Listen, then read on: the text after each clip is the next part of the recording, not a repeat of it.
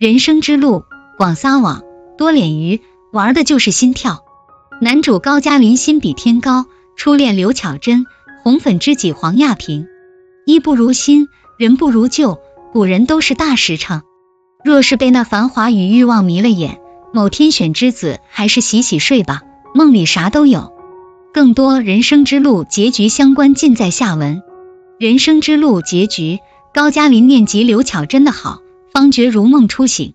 时过境迁，再次感到彷徨无助的。也并非他一人，好基友高双星顶包上大学，往事昭然若揭。如何面对受害者高加林以及与之相关的种种，已是无解命题。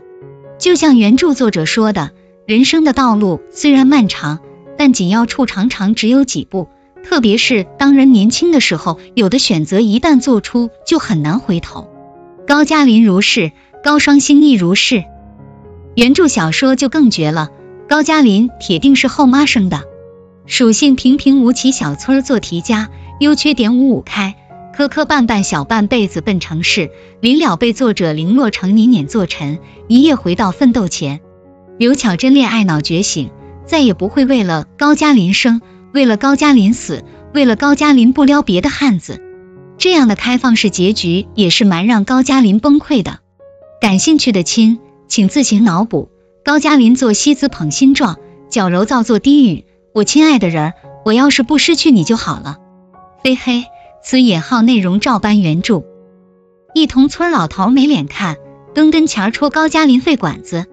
高加林行动上没有寻死觅活，嘴里说着不想活，老头还真信了，很官方的安慰了一通。高加林顺坡下了，以后干什么营生留了白。电视剧改掉了原著的部分设定。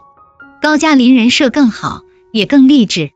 希望这位命定男主经历了人生的大起大落之后，能最终做出正确抉择。无论是和林巧珍、黄亚萍的爱情线，还是和高双星相爱相坑线，都有一个不跌份的落幕。